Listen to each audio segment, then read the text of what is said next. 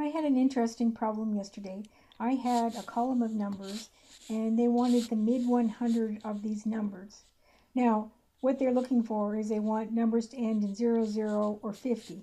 So the first thing I did is I tested to make sure that these numbers are going to come out as numbers. So on this eight, uh, this one here, what I did is in the next column I said right, so that from the right we want to count two digits and we get 79.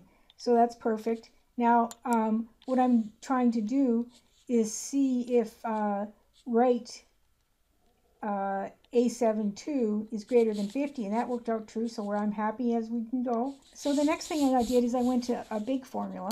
So I'm saying, so um, if right A2 or A7, the second last two digits of the of the right, if it's greater than 50, then substitute A7, the right um, last two digits, and we're going to put a 50 in there. And if it's, uh, so that's greater than 50, and now I do the same thing for less than 50. And uh, that seemed to be fine. But um, there's a problem with the zero, zero at the end. So let me show you something else I've done. Um, so if we take, we take the right A2, because the, the right two digits of this one is 0, 0. And if uh, the right two A2 equals to equals 0. Now I originally in the formula had 0, 0, but when you put uh, when you finish the formula, it takes off one of the zeros for you, and so it leaves it for 0. And so it's saying uh, that if that's if that's true, then then place this number in there. And you know what? It works out to false because uh, the right two digits 0, 0 does not equal 0. So that's a problem.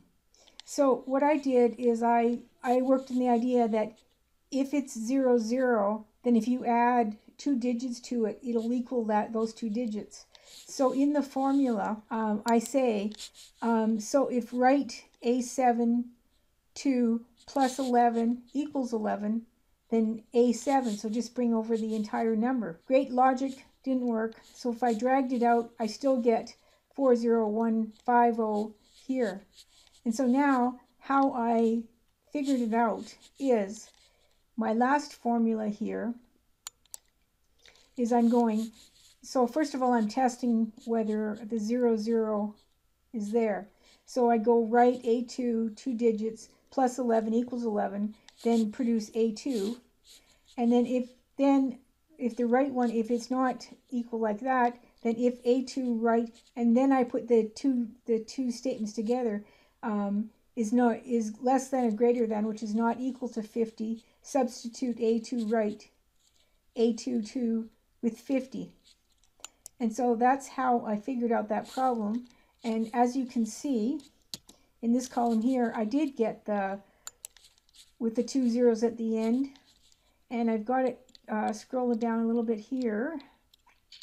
And I've got another one that has two digits at the end as well. So the combination of the um, equals, uh, the zero zeros is 11 is equal to 11 works out well, and then the not equal to 50 works out so that you can get the midpoint between the, the hundreds. This is how you determine the midpoint between hundreds.